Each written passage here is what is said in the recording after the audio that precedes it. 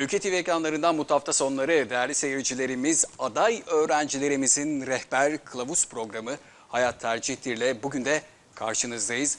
Dolu dolu bir program olacak.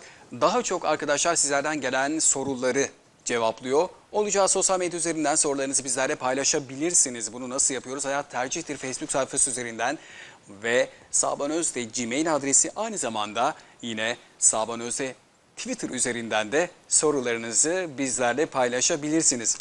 Evet maraton 2 ikinci haftasında koşulan aslında e, geçmişe yönelik birkaç aydır arkadaşlarımız çalışıyor ama son hafta, geçtiğimiz hafta ve bugün maratonun son virajı diyebiliriz. Şu an itibariyle LYS 2 Fen Bilimleri sınavı yapılıyor. Hemen öncesinde bir hatırlatma yapalım. Arkadaşlarımızı rahat ve huzurlu bir ortamda sınavlarını tamamlayabilmeleri için bizlere de büyük görevler düşüyor. Neler yapmamız gerekiyor? Kesinlikle gürültü kirliliği yapmıyor olmamız, kornalarımıza basmıyor olmamız, müziğin seslerini yükseltmiyor olmamız gerekiyor.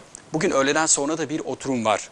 Bunu da e, lütfen ihmal etmeyelim. Bu sessizliğimizi bir süre daha devam ettirelim. Öğleden sonra LYS 5 14.30 itibariyle de başlamış olacak.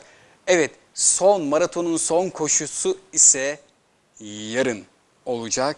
Coğrafya değil mi hocam? E, coğrafya e, sınavı, e, edebiyat gerçekleştirilecek. Son sınav ise yarın. Burada şu an sıraları başında ter döken arkadaşlara Allah zihin açıklığı versin. Yardımcıları olsun inşallah hak ettikleri yerlere her birinin hedefi huzurlu, mutlu yaşam sürebileceği bir meslek sahibi olma ve güzel bir üniversitede okuyor olmaları. Öyle değil mi Kesinlikle. Ahmet Hocam? Kesinlikle. Ee, ben de öncelikle geçen hafta gerçekleştirilen e, LYS 1 ve LYS 4 sınavların için e, öğrencilerimize geçmiş olsun dileklerimi iletiyorum aynı zamanda velilerimize. Ve şu anda e, gerçekleşen LYS 2 fizik, kimya, biyoloji, Evet. öğleden sonra yapılacak olan LYS 5 dil sınavı ve yarın en son gerçekleştirilecek olan LYS 3 edebiyat ve coğrafya sınavı için bütün öğrencilerime başarılar diliyorum. Ee, ve aynı zamanda velilerimize de geçmiş olsun dileklerimi iletiyorum. Evet öğrenci arkadaşlar kadar velilerimiz de heyecanlı okulların Kesinlikle. kapılarında onları duayla Evet. bekliyorlar. Bunları biz yaşadık. Bu aşamalardan bizler de geçtik. Kesinlikle. Bazen hocalarımız da tabii e, aileleriyle gitmeleri, gidiyor olmalarının bazen dezavantajı da olabiliyor. Arkadaşlarımız heyecanlanabiliyor ama aile desteği olması gerekiyor herhalde değil mi hocam? Ama sınırı ne olmalı? Bazen baskı da yapabiliyor e, aileler, aileler. Ya tabii ki sınav sabahlarında özellikle e, ebeveynlerin olması adaylar için ciddi anlamda bir e, psikolojik destektir. Aynı Değil mi? zamanda yalnız olmadıklarının göstergesidir. Ama tabii sınav sabahına kalkıp da çok ciddi bir şekilde bunu abartarak işte e, çok e, bir savaşa gider gibi ya da ondan sonra e, hayatta ilk kez gerçekleşecek olan bir sınava gidermiş gibi yapılması ister istemez var olan sınav stresini daha da artıracaktır. Ee, biraz orada ilgi ve odak noktalarını değiştirmek gerekir. Yani işte sınavdan ziyade çocuğun sabahki psikolojisinin iyi olması gerekir. Peki hocam şimdi bu süreçten hani sizler de geçtiniz ben de geçtim ve bir süre daha gençlerimiz geçecek arkadaşlarımız geçecek. Ee, hayatımızın her aşaması sınavlarla dolu. Evet. Hayat sınavı ayrı bir de böyle akademik bir şeyler başarı eğitim anlamında sınavlarımız ayrı. Yani sınava biz acaba çok fazla anlam yüklüyor muyuz? Biraz e, hani siz e, özellikle rehber hocalarımız bu süreçte öğrenci arkadaşlarımızı biraz daha rahatlatmak için hep diyorsunuz ama ya, e, sınav bilmiyorum söylüyor musunuz? Öyle, hayatın sonu değil kazanamazsan da olabilir. Ama Nevzat Hocam geçtiğimiz günlerde programda ca- canlı yayında konuk oldu. Geçtiğimiz hafta misafir ettik Evet. kendini. Diyor ki bu her öğrenciye söylenmez. Şimdi bazen öğrenci arkadaşlarımız mükemmeliyetçi olabiliyor. Kesinlikle. E, hayatın sonu değil. Söylediğiniz zaman o kendinde acaba başaramayacağım kaygısı uyanabiliyor ve kendini yakıştıramayabiliyor. Bu bu sefer ters tepebiliyor. Tepebiliyor, Böyle bir evet. e, refleks. Burada o dengeyi nasıl sağlayacağız acaba? Neler söyleyebilirsiniz? Kesinlikle Nevzat Hocam'ın söylediklerine ben katılıyorum. Ee, çünkü artık e, şimdiki gençlerimiz klişeleşmiş bazı şeylerin dışına çıkmak istiyorlar. Tamam oğlum ya da tamam kızım işte canın sağ olsun problem değil. Yeter artık bunlar e, onları tatmin eden ya da motive eden bir cevap değildir. Onun yerine ki geçen hafta hocam çok güzel ifade etti. Evet sen yıl içerisinde üstüne düşeni yaptın. Çok ciddi bir şek- şekilde ders çalıştın. Önceki başarıların söz konusuydu. Bütün bunları bir araya getirdiğiniz takdirde başarılı olman başarısız olmaktan daha çok yüksektir. Ve böyle olduğu takdirde adayın ilgi odağını değiştirmiş olacağız. Şimdi ilgi odağını değiştirdiğimiz takdirde e, adayın kendine olan özgüveni daha da artıracaktır. E, onun için yani sınav anında ya da sınava işte yakın dönemlerde gereğinden fazla bu tür söylemlerin olması e, var olan kaygıyı artıracaktır. Onun için e, yerinde ve zamanda telkin etmek gerekir, uyarmak gerekir. Tabii ki e, hepimizin işte e, öğrencilik yıllarında bunlar vardı. Bunların yaşanması gerekir. Zaten bir aday eğer biraz da heyecanlanmazsa e, ve bu işi ciddiye almadığı takdirde iyi bir sınav sonucuyla karşı karşıya gelmez. Biz bunu yıllardır her zaman bunu söylüyoruz. Evet. Çok iddialı olan, e, çok çalışan yıl içerisinde veya birkaç yıl içerisinde çalışan arkadaşlarımız mı biraz daha kaygı butonu yüksek oluyor onlarda? Ee, bazılarında ise bilinçli bir şekilde bunu gerçekleştirirler. Yani kaygıyı biraz da ondan sonra yaymak amacıyla olabilir. Etrafındaki arkadaşın hiç sınav kaygısı yoktu. Tabii ki sınav kaygısı vardır ama e, ciddi değildir. Çok fazla işte çıtanın üzerinde değildir. Ama yanındaki arkadaşı çok ciddi bir şekilde bir sınav kaygısından bahsettiğinde ister istemez bu diğer taraftaki insanlara da yansıyacaktır, adaylara yansıyacaktır. O anlamda bazen de bunu bilinçli gerçekleştiren e, sevgili adaylarımız da vardır. Niye? İşte sonuçta rakiplerin azalması gerekir. Evet. Böyle düşünün adaylarımız da var yani. E, kimisi de tabii Nevzat hocamız da geç, geçen hafta Ece hocam da e, selam olsun buradan. Öyledir. Bazıları sınavdan çıkıyor. Oradaki o Tabii. orta motivasyonunu ve morallerini bozmak için e, veya t- e, çok iyi yapmış olabiliyor ama çok kötüydü. Bir bakıyor sonuçlara neredeyse full çekmiş Tavan yapmış. arkadaşlar. Kesinlikle. Tam tersi de olabiliyor. Çok zor bir sınav gerçekleşmiş olabiliyor ama çok basit hepsini yaptım çıktım gibi söylemlerde olabiliyor. Herhalde arkadaşlar burada biraz daha kendilerini dinliyor olmaları gerekiyor. Evet. Çok fazla çevreye kulakta vermemesi mi gerekiyor? Bence de biraz yani iç seslerini dinlemeleri gerekir. Kendi iç sesini dinlemesi gerekir. Peki. Evet. Hocam geçtiğimiz hafta e, iki oturumu bitirdik malumunuz. E, soruları da aslında yayınlandı e, sitede, ÖSYM'nin sitesinde. Evet. Şimdi kolay zorluğu tartışıldı. Arkadaşlarımızın e, zor olduğu yönünde de söylemleri var. Eğitim uzmanlarına göre yani sizlere göre aslında beklendiği yönünde.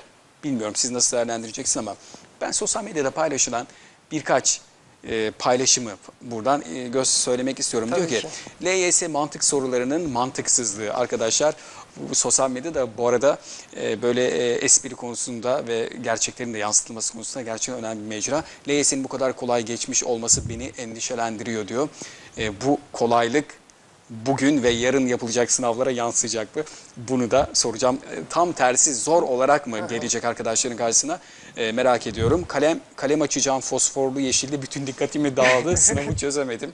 E, evet kalem tıraş silgi götüremiyorlar arkadaşlara. ÖSYM takdim ediyor. LYS'yi Aristo'ya sor, o bile felsefeden kalır diye bir ifade kullanmış arkadaşlarımız. Ee, yine matematik üzerinden de çok güzel yorumlar var. Diyor ki geometri Pisagor gelse çözemez, biraz insaf be diye arkadaşlarımız oldu. LYS 1'de şeker yedim diyor bol bol. Çözemedi. Sorular bana baktı, ben sorulara baktım. Evet. Böyle sosyal medya üzerinden e, paylaşımlarda arkadaşlarımız oluyor. Bu morallerini bozuyor, bozmuyor değil. Olumsuz yor- yorumlar. Nasıl değerlendiriyorsunuz geçtiğimiz haftaki e, soruları hocam? Şimdi e, öncelikle LYS 4'ten bir başlayalım. Tabii ki ayrıntısına fazla girmeyeceğiz ama Gerek burada LYS 4'te özellikle sosyal testinde e, tarihteki bilgilerin, bilgi ağırlıklı soruların gelmesi biraz öğrencilerimizi demoralize etmişler. E, daha sonra e, felsefe grubundaki soruların biraz zorlayıcı derecesi artmış orada. E, aslında bunlar bizim müfredatlarda beklediğimiz ondan sonra sorulardı. E, LYS matematiğine baktığımız dönemlerde daha önceki programlarda ve dile getirmiş olduğumuz çalışmalarda hep dile getirdik. Dedik ki e, özellikle YGS'de e, yaklaşık 14-15 civarında bir matematik sorusu aynı şekilde ikinci sınavda LYS'de karşımıza çıkacak ki gerçekten de öyle oldu. E, ve adaylarımız özellikle sınav anında yani her bir soruya bir buçuk dakika verilmesine rağmen e, sık sık dile getirmiş olduğumuz ve sizin de yıl içerisinde ifade ettiğiniz inatlaştılar. Evet. Ve e, kesinlikle yani soru çıkmıyorsa diğer soruya atlamaları gerekir. Matematikte yetiştirememelerinin sebeplerinden biri bu.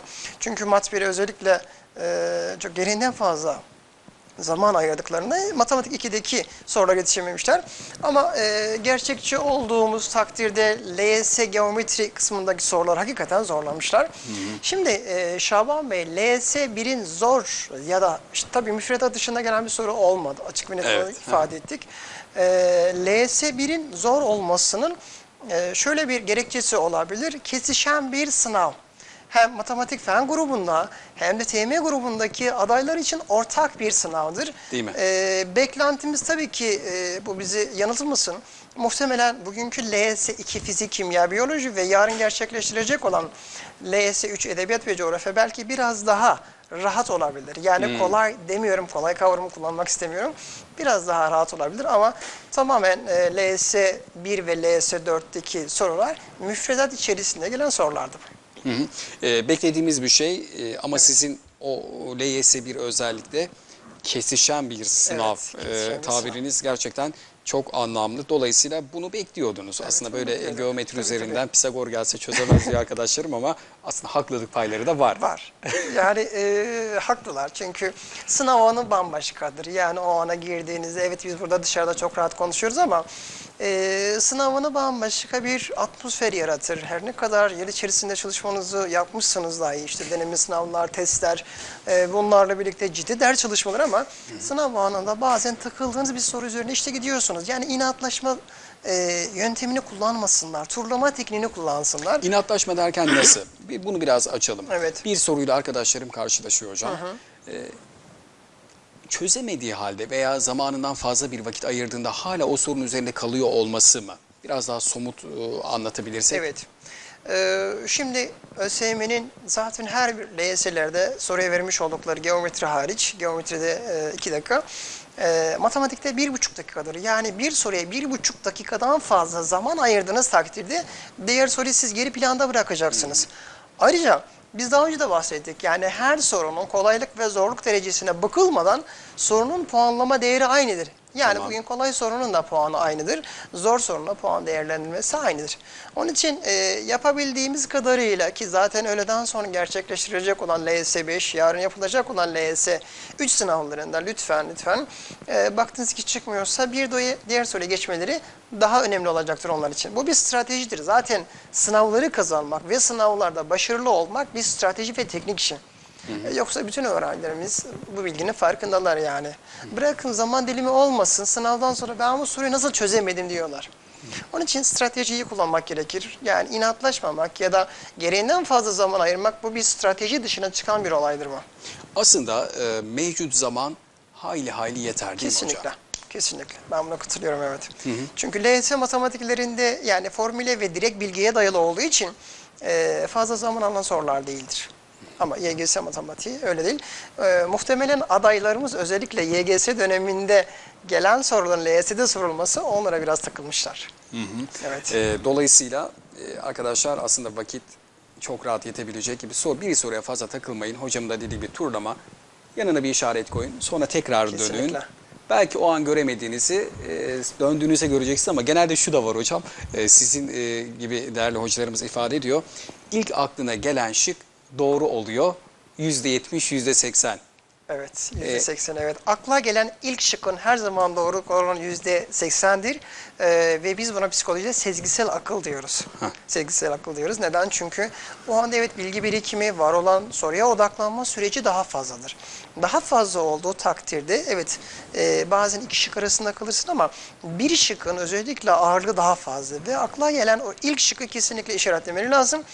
Eğer e, matematiksel ifadelerin ya da işte formüllerin işte fen ve özellikle matematikte böyle bir işlem hatası yoksa sosyal bilimler testi ve edebiyat coğrafya testinde ben adayların geri dönüp o şıkkı değiştirmeleri taraftarı değildim. Yüzde yüz eğer emin değillerse. Çünkü biz deneme sınavlarında ve gerçek sınavda bu tür örneklerle sık sık karşılaştık.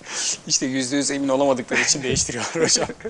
Arkadaşlarım yüzde yüz emin olsalar zaten e, değiştirmeyecektir. Bazen çok emin olduğunda bile e, bir obsesyonluk yaşayabiliyor Evet, arkadaşlar. evet. Bir kaygıları olabiliyor, e, takıntıları olabiliyor. Acaba bu muydu, değil miydi? Allah kolaylık versin, zihin açıklığı versin arkadaşlarıma. 460 bin yanılmıyorsam bugün arkadaşım e, sırasının başında ter döküyor. Doğru, doğru. Allah kolaylık versin, zihin açıklığı. Evet, e, Üsküdar Üniversitesi'nden hocamız Ahmet Alkayış'la sürdürüyoruz. Sorularınızı da bekliyoruz değerli arkadaşlar. Hayat Tercihte sayfası üzerinden Saban Özde e, tweet ve Saban Özde Gmail adresinden sorularınızı bizlerle paylaşabilirsiniz. Konuşacağımız çok konu var aslında. E, Ahmet Hocam, Şimdi kontenjanlara bakacağız. Bu süreçte özellikle e, bir maraton bitiyor ama bir maraton daha başlayacak. Evet. E, ne zaman başlayacak? Biraz önce bir takvim alalım. 18 Temmuz'a sonuçlar açıklanıyor. Açıklanacak.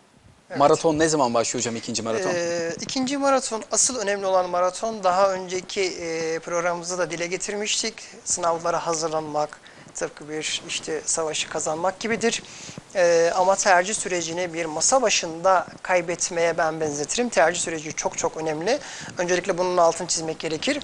Ee, ben e, sınav sonuçları açıklanmadan önce tarihsel anlamda gideyim. Üniversitemizde 11 Temmuz 5 Ağustos tarihleri arasında gerçekleştirilecek olan 10 süreç içerisinde e, eğitim uzmanlarımız, rehber öğretmenlerimiz, bölüm hocalarımızla birlikte tanıtım günlerimiz olacaktır. Sizler oradasınız. Evet bizler oradayız ve İyi. bizzat velilerimizle ondan sonra adaylarımızla e, ilgilenip tercihlerini biz gerçekleştireceğiz. E, hatta isteyen adaylarımızın tercihlerini ÖSYM'ye bildirimini de biz gerçekleştireceğiz orada. E, 18 Temmuz'da ÖSYM e, YGS'lerin orta öğretim başarı puan eklenmiş hali alt, artı LS'lerle birlikte sınav sonuçları açıklanacaktır. Puanlar açıklanıyor. Evet puanlar açıklandıktan sonra herkes rahatlayacaktır orada. İnşallah. Öyle diyelim. İnşallah bekledikleri gibi olur Kesinlikle arkadaşlar. evet herkes için iyi olur öyle düşünmek gerekir. Ee, ve 26 Temmuz ile 2 Ağustos tarihleri arasında tercih bildirimi yapılacaktır. Şimdi Evet. tercih bildirimi önemlidir. Ben her zaman programlarda dile getirdim. Ee, şimdi her aday tanıdığı bildiği rehber öğretmenler tercih yapma gibi bir şansa ya da bir lükse sahip değildir. Doğru. Özellikle rehber öğretmenlerimizin tabii ki e, bütün arkadaşlarımız bu alanda işinin farkındalar ama ilk kez karşılaştıkları bir adayla hemen tercih olayını gerçekleştirmiyorlar ki gerçe- gerçekleştirmediklerinden eminim. Ama ilk kez gelen bir adaya en az 3 kez bir randevu verilmesi gerekir. Neden diyeceksiniz? Bir, aday geldiğinde adayın istediği bölümler hangileri, tercih edeceği üniversite hangisi, hangi illeri düşünür bunlara dikkat etmesi gerekir. Ee, ve tercih robotlarında mutlaka e, adayın istediği üniversite bölümlerin çıkarılıp çıktısının verilmesi gerekir. İkinci aşamada ise aday geldiğinde tabii ki çok ciddi bir tercih listesi olacaktır. Tercih listesini minimize edecek, en aza indirecektir. Evet hangi işte bölümlere, hangi üniversitelere karar verilmişse o netleştirilir. Üçüncü aşamada ise e, biliyorsunuz tercih sayısı 30'dan 24'e düşürüldü. Evet Ahmet Hocam benim şu anda tercih sayım 24. 24 tercihin özel koşul ve açıklamalarına mutlaka baksınlar. Ondan sonra ÖSYM'ye bildirsinler. Ee, yoksa yani bu süreçleri takip etmediğiniz takdirde öğrenci yanlış bir yöntem izlemiş olacak. Şunu soracağım. Birkaç soru geldi aklıma siz anlatırken. E, 24 tercihe indiriliyor olması avantaj mı hocam? Ee, bence adaylarımız için avantaj neden? Oradaki makas biraz daraltıldı. Şimdi zaten biz e, her sene tercih yaparken adaylarımız özellikle ilk 20 tercihten sonrasını e, işte biraz da spesifik yani olur ya da olmaz ya da doldurmayan adaylarımız bile vardı. Ama en azından 24 tercihin olması daha sistematik olacaktır aday için daha belirleyici. Ee, takdir ederseniz işte 90'lı yıllarda bizim üniversite sınavına girdiğimiz yıllarda 18 tercihimiz vardı. Hatta ilk 12 tercih lisans, son 6 tercih ise ön lisans olmak zorundaydı. Evet. Ama yani 24 tercih. Bize göre daha avantajlılar. Kesinlikle, kesinlikle. Ee, hocam dediniz ki arkadaşların aslında rehber hocalarımıza en az üç kere bir araya geliyor Evet, olmaları evet. gerekiyor, temas ediyor olmaları Evet. e, gerekiyor. Bu belki de biraz farkında, biraz gayret eden, en azından e, yürüyebileceği alanı belirlemiş olan arkadaşlarımız için geçerli olabilir. Ama e, hiç hazırlık yapmayıp da size gelen arkadaşların da olduğunu ben biliyorum. Evet. Mesela arkadaşlar sağlıklı bir tercih yapabilmeleri için size hangi modda geliyor olmaları gerekiyor? Ee, zihinsel yapıları nasıl olması gerekiyor? Bir takım şeyleri zihninde yerleştirmiş olması gerekiyor mu? Nasıl bir öğrenciyle çok rahat bir tercih süreci geçirebilirsiniz? Evet. Şimdi e, zaten yıl içerisinde aday hazırlanırken e, hedefinde ve idealinde üniversite bölümler mevcuttur ama bunların dışında şimdi e, alternatif dediğimiz meslekler ya da AB plandaki meslekler e, ya da geçen hafta işte hocamın da ifade ettiği gibi joker meslekler olacaktır. Şimdi zaten e, mes ideali belli olan öğrenci sizi yormaz. Çok rahat bir Yormaz. şekilde hocam benim tercih yapacağım bölümler ve üniversiteler şunlardır listesiyle size gelir. Orada siz o öğrenci stratejik olarak e, bölümlerin belki birinci ve ikinci sıralamasını değiştirebilirsiniz ama e, genel itibariyle e, tabii ki bu dilim çok azdır. Yani yüzde yirmi, yüzde yirmi beşlik bir dilim diyebilirim. Belki yüzde yirmidir bu dilim.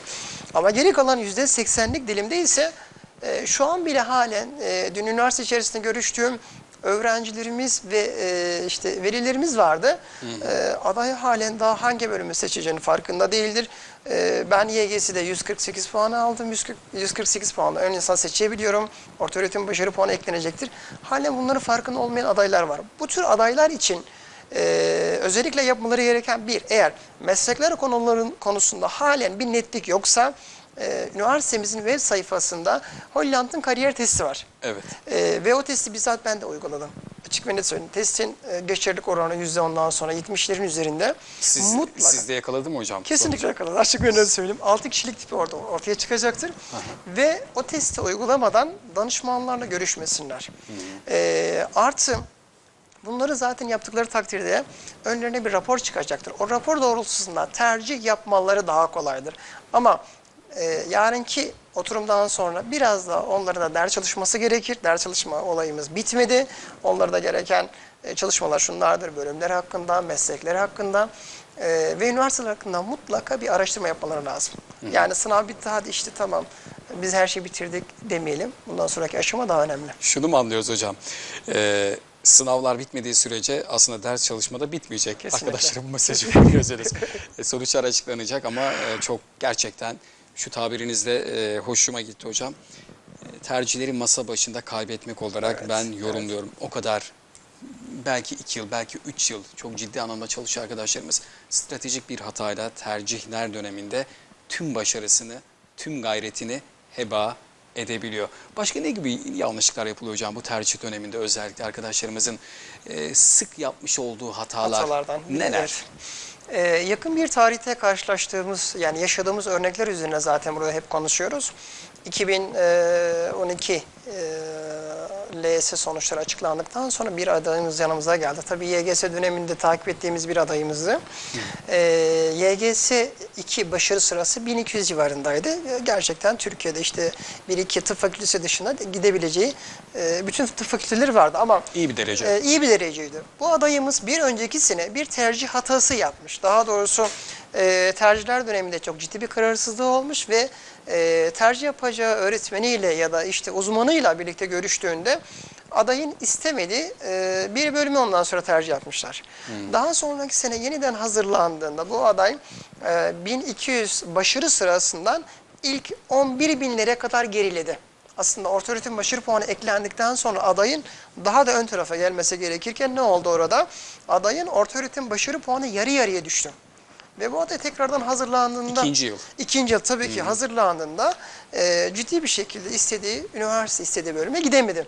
Lütfen eğer adaylarımız istemedikleri bir bölüm ya da üniversite ise kesinlikle yazmasınlar. Çünkü diploma notu dediğimiz orta öğretim 4 yıllık başarı e, yarı yarıya düşecektir. Yani en düşük puanımız 30, en yüksek 60 parametre arasında gidip geliyoruz. Örnek verelim. Başarılı bir adayımızın 50 puanı varsa bir sonraki sene hazırlandığı takdirde bu 25'e düşecektir. Ve bu da ciddi anlamda geriye götürecektir bu adaylar. Birincisi Kaç bu. soru demek değil mi hocam? Tabii ki birincisi bu. İkincisi adaylarımızın e, tercihler döneminde en fazla e, gözden kaçırdıkları olay tercih ettikleri bölümler hakkında net bir bilgiye sahip değiller. Evet. Bölümler hakkında lütfen bir araştırma yapsınlar. Tabii ki biz bölüm hocalarımızla, akademisyenlerle birlikte bizim dokunduğumuz adaylara ve velilere bu bilgi vereceğiz ama herkes İstanbul'da işte e, yaşama şansına sahip değildir. İmkanı olmayabiliyor. Çok Kesinlikle haklısınız. çok fazla. Bu adaylarımızın lütfen e, en azından yakınlarında gördükleri öğretmenleriyle, danışmanlarıyla ya da elin altındaki e, internet olanakları, bölümler hakkında mutlaka bilgi edinsinler ve acele etmesinler. Evet, o- İlk gün hemen tercih bildirimine başlamayalım. Evet bu dönem bunu da konuşalım hocam. Ee, geçtiğimiz haftalarda yine sizin üniversitenizden, Üsküdar Üniversitesi'nden Profesör Doktor Muhsin Konuk hocam vardı Ece hocamla birlikte. Ee, Ece hocam biraz bahsetti aslında rehberlik hizmetlerinin bugün geldiği noktayı. Muhsin hocam diyor ki ben diyor okuduğum bölümün hangi fakültede olduğunu bile bilmiyordum. Hiçbir yerden haberimiz yok. Ne şartlarda geldik, okuduk, bir şeyler yaptık. Aslında bu dönemlerde öğrenci arkadaşlarımız çok şanslı değil mi hocam?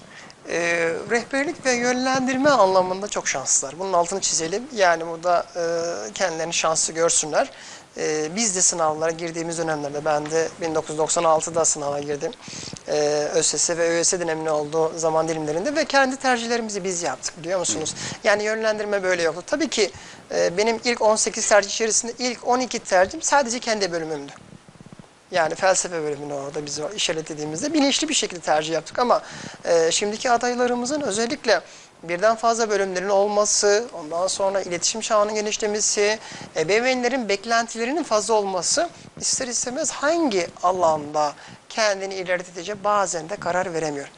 Yani oradaki handikaplar çok fazla. Onlara dikkat etsinler ama bütün bunların sonucunda ben şimdiki gençlere çok güveniyorum. Çok bilinçli adaylardır.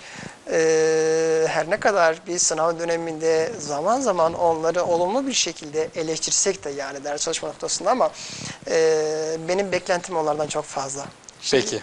Evet çok bilinçli gençlerimiz var. Maşallah. Evet. Ee, hocam e, aslında dediniz ki istemediği bir bölümü program arkadaşlarım kesinlikle tercih etmesin. Evet. Mutsuz olabileceği. Aslında yatay geçiş şartları da çok. Bizim dönemimizde bunlar yoktu. Girdik orada kaldık artık daha başka bir şey yapamıyorduk ama şimdi e, bu anlamda da ciddi avantajlar sağlanıyor. Arkadaşlar e, farklı bölümlere yan dal, ana dal imkanları var. Çift, Çift ana dal, e, evet. imkanları var. E, güzel yani şanslılar. Yurt dışı imkanları Erasmus'a dünyanın bir ucunda farklı bir ülkesindeki e, üniversitelere gidip orada eğitim alabiliyor, dillerini geliştirebiliyor. Ne güzel. Sadece bu süreçleri biraz iyi değerlendirin. Biraz da ciddi rehberlik hizmeti alın kıymetli hocalarımızdan. Teşekkür ederim. Güzel bir yerlere yerleşin. istemediği bölüm dediniz. Bu süreçte arkadaşlarda şunu da ben gözlemliyorum hocam.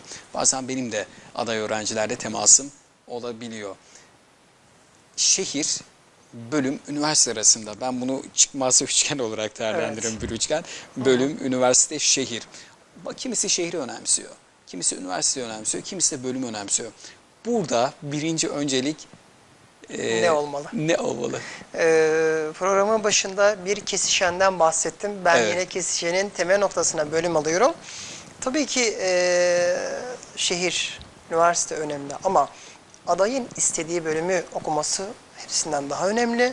Nihayetinde e, mutlu olabileceği, bundan sonraki yaşamını sürdürebileceği bir alan olmalı orası. E, sadece üniversite e, ismi ya da etiketiyle gittiği takdir tamam 4 sene sonra ya da ki hazırlık bölümü varsa 5 sene sonra bu üniversite süreci bitirecektir. Evlilik 5 yıl. Üniversiteyle evlilik Evet. değil mi hocam? Çok iyi hatırlıyorum. Evet hakikaten öyle. Üniversite ilk gittiğimizde e, sağlık karnelerini çıkarırken zaten oradaki görevli arkadaşlardan aynı kavramı kullanmıştı. Hocam 5 sene evleneceğiz. Aa ben de karşı, neyle karşılaşıyorum diye. Bu süreç bitecek. Asıl süreç üniversite bitirdikten sonra başlayacaktır. Onun için lütfen e, dikkat etmeleri gereken önce bölüm.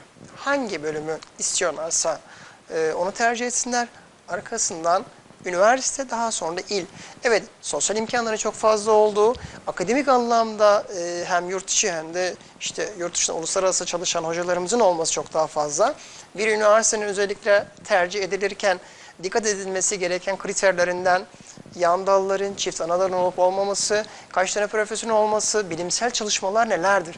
Bunlara dikkat etmek gerekir. Yani sadece isimden ziyade e, global olan çalışmalara da bakmak gerekir. Bunlar önemli. Lütfen o süreç içerisinde bunlara dikkat etsinler. Evet çok haklısın hocam. Artık sınır kavramları Evet. yok. Dijitalle birlikte o sınırlarda teknolojiyle birlikte aşıldı. Uluslararası işbirlikleri, üniversitelerin Erasmus imkanları tercih yapacağınız süreçte kesinlikle bunları göz önünde bulundurmanız Ahmet Alkayış hocamın da ifade ettiği gibi. Hocam bazı değişiklikler var. Arkadaşların tercih yapacakları Evet. süreçte bunları göz önünde bulundurmaları gerekiyor ama bazı yanıldıkları konular da var. Mesela okul birincilerinin e, diploma notu ve o puanlara özel gelen puanlar. İlk yıl değil mi? Bazı arkadaşlarımız burada bir yanılgıya düşebiliyor. Oradaki e, kriter ne hocam? Şaban Bey iyi bir yere değindiniz çünkü bu hafta da karşılaştığımız problemlerden biri buydu. Hatta e, bir adayımızın velisi e, direkt benimle iletişime geçti. Hocam şu anda öğrencim lise son sınıfta, e, lise birinciliği var ama biz bu yıl e, bu birinciliği değil de bir sonraki sene bunu kullanmak istiyoruz diye böyle bir hakkımız var. Hediye çeki değil değil mi hocam? Kesinlikle. Al, evet, o sene. Ve geçerli sadece lise son sınıfta, 12. sınıfta lütfen bunun altını çizelim. Ee, özellikle lise birincilerinin lise son sınıfta bu avantajlı durumları kullandıkları zaman biraz daha diğer öğrencilere oranla şans olacaklar. Nasıl? Bunu biraz daha açalım. Açalım. Ee, belki bazı bölümler, örnek verelim bugün matematik, fen 4, e, mühendislik seçecek olan bir aday e, 350 puanla eğer normal adaylar girecekse okul birincisi ya da lise birincisi aday 340 puanla ya da 335 puanla çok rahat bir şekilde yerleşebiliyorlar. Yani 10-15 puan adayımız daha şanslı. Ama bu şans sadece lise son sınıfta geçerli. Altını çizelim. Bir sonraki sene üniversite sınavına hazırlandığında böyle bir şansı söz konusu olmayacaktır. Bu önemli. Ee, e, bu burayı da o zaman arkadaşlar atlamıyor. Atlamayalım kesinlikle. Ee, değerlendirmiş olalım. Hocam şimdi aslında biz her programda vurguluyoruz, ifade ediyoruz. Deriz ki e, evet üniversite kontenjanları artıyor. Üniversite sayıları artıyor. Kesinlikle. Doğru tercih yaparsanız sizin de ifadenizle 3 öğrenciden aslında 2 öğrencimiz Yerleşecek. yerleşecek. Evet. Burada e, nelere dikkat etme gerekiyor? Tercihleri biraz vurguladık, söyledik ama istatistiksel olarak da e, biraz bilgi e, almak isterim. Mesela liseden mezun olan öğrenci kontenjanıyla e, kazanamayanlar da oluyor. Tabii her sene bunların üzerine eklenen Mezun olan oluyor. adaylarımız da. E, Evet, mezun olan adaylar da tekrar girebiliyor ama böyle bir istatistik neresinde Türkiye? Nasıl bir istatistik var? Ee, Şimdi son dönemlerde özellikle ÖSYM'nin lisans, ön lisans e, artı Türkiye ve yurt dışındaki kontenjanlara baktığınızda 600 civarında ondan sonra kontenjanımız var. E, lise son sınıfta mezun olan, mezun olabilecek olan adayların sayısı hemen hemen 900 bin civarında. E, aslında yani burada 3 öğrenciden 2 öğrenci yerleşecektir ama e, daha çok onların tercih edecekleri ya da pastanın belli bir dilimi vardır, belli bölümler vardır ve belli başarı sıralarına ulaşması gerekir. Ee, burada bence adayın ona dikkat etmesi gerekir. Evet, bazı bölümler vardır ki ilk 100 binle, 150 binle aday alır ama bugün tıp fakülteleri olsun, hukuk, psikoloji ya da uluslararası ilişkiler gibi bölümlerin iyi üniversitelere girmek isteyen bir adayın e, en azından ilk 10 bin, 10 binden sonra düşündüğü psikoloji hukuksa ilk 20 bin dilimlerine girmesi gerekir. Bunlar önemli. Daha sonra tabii ki vakıf üniversitelerin e, tam bursu işte %75, %50 ya da %25 ücreti kısımları belki başarı sıraları biraz daha e, genişleyebilir orada. Önemli olan adayın istediği bölüme girmesi. Biz her zaman şunu söylüyoruz. Hocam e, işte TRT en yüksek olan meslekleri hangileri? En çok e, işte aday bitirdikten sonra açıkta kalmayacak meslek hangileri? Tabii ki e, piramidin en üstünde bugün sayısalda tıp fakülteleri, eczacılık, mimarlık, e, Türkçe matematik grubunda hukuk, psikoloji gibi bölümler ya da yeni medya TS grubunda hakikaten çok iyi bölümler. Ama ben her zaman şöyle ifade ederim. Hiçbir bölüm iyi ya da kötü kavram kullanmak istemiyorum. Ee, olumsuz değildir ya da kötü değildir e, den ziyade o bölümde kendini geliştirmeyen adaylar vardır. Bence Evet. hangi aday e, gittiği bölümü içselleştirmişse ve o bölümün hakkını veriyorsa üniversite yıllarında e, üniversite bitirirken bazı artılarla işte çalışmış olduğu alanlar, staj yaptığı olanaklarla bitirdikten sonra bu adayın açıkta kalmayacağını altını çiziyorum. Evet. Çok güzel yere geldiniz hocam. Nevzat hocamızın da ifade ettiği gibi e, üniversitenizin rektörü Profesör Doktor Nevzat Tarhan Evet. diyor ki yapı taşı hiçbir zaman açıkta kalmaz. Kesinlikle. Eğer o taş yapı taşıysa şunu kastediyor. Kendini biraz e, dizayn etmişse, törpülemişse, yetiştirmişse, eğitimmişse binlerce taşın arasında gerçekten bu taş yapı taşı olabilecek evimin bir kanısını veya bir odasını yapabileceğim gibi algılarsa onu ilgili kişi oradan alır oraya koyar. Bunu güzel demek açıklama. değil mi hocam? Kesinlikle. Kesinlikle. Peki. Ee, hocam değişiklikler olduğunu söyledik. Ee, başarı puanlarında da e, başarı puanına göre de bir e, sıralama, baraj puanı getirildi daha Evet. doğrusu. Evet. E, bir gelişme var. Onu da ben e, arkadaşlarıma anlatmanızı isteyeceğim. Orman ve Su Ürünleri Mühendisliğine özel burs imkanları geldi. Buradan da biraz popüler olan meslek grupları biraz önce dikkat çektiniz ama Evet. e, bu orman ve su ürünleriyle ilgili gelişme aktarabilir miyiz hocam arkadaşlar? Ee, Şimdi yeni olan bir e, basın açıklaması e, YÖK Başkanı Yekta Sarac'ın e, geçen hafta hafta içerisinde yapmış olduğu açıklama şöyle. E, ziraat, orman ve su ürünleri mühendisliklerine e, gidecek olan adayların çünkü son dönemlerde biliyorsunuz başarı sıraları geldi. E, başarı sıraları özellikle hukuk fakültesi için 150 bin, tıp fakültesi için 40 bin, mimarlıklar için 200 bin ve mühendislikler için ilk 240 bin başarı sırası geldi. Ama parantezin içerisinde orman ve su ürünleri ve ziraat fakülteleri eklenmedi. Neden? Çünkü bu bölümleri tercih eden aday sayısı giderek azaldı ve bunu biraz daha arttırmak adına Yekta Saraç şunu söyledi.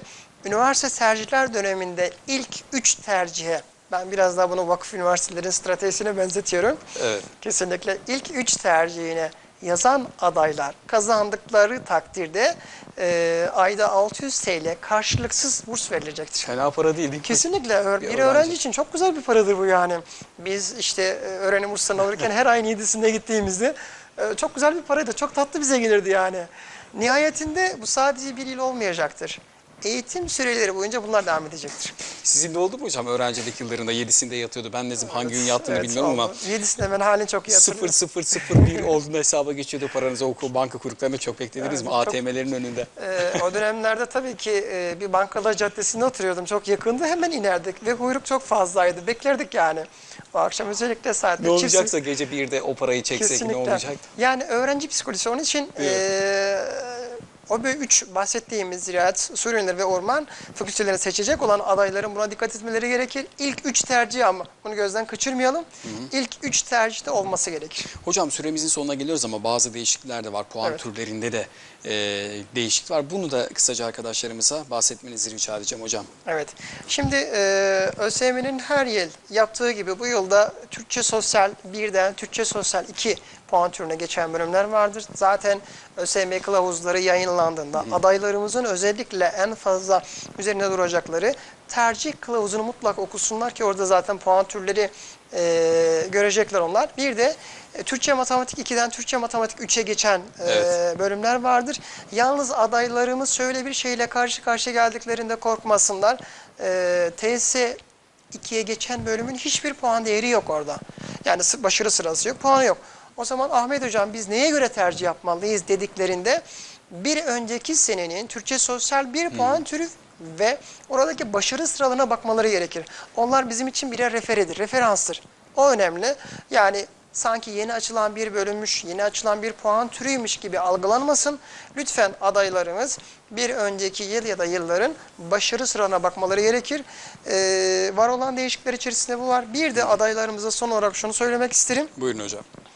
Ee, lisans bölümü ya da lisans fakültelerini seçecek olan adaylarımız başarı sıralarına göre hareket edecekler. Lütfen burada Evet. puan olayı ya da yüzdelik dilimi söz konusu değildir. Hocam benim puanım çok da. Evet puanlar her sene değişebilir. Ancak ön lisans dediğimiz iki yıllıklarda ise biz orada puanlara bakabiliriz. Ya da meslek öğrencileri sınavsız geçişli haklarını kullanabilirler. Ahmet Hocam bizimle birlikte olacak. Hayat tercih üzerine gelen soruları gün içerisinde Ece Hocam ve Ahmet Hocam birlikte cevaplıyor olacaklar. Bu hatırlatmayı yapalım. Üsküdar Üniversitesi'nden eğitim uzmanı, rehber danışman hocamız Ahmet Alkayış bizimle birlikteydi. Yarın saatler 11.10'u gösterdiğinde e, yine Ahmet Hocam ve Haydar Sur Hocam Üsküdar Üniversitesi'nden bizler olacak. Biraz sağlık bilimlerini, sağlık alanında tercih yapacağınız meslekleri ve o grupları konuşacağız. Yarın saatler 11.10'u gösterdiğinde bu ekranlarda tekrar buluşmak üzere. Lütfen seslerimizi biraz düşük tutalım arkadaşlar çünkü hala sınavda.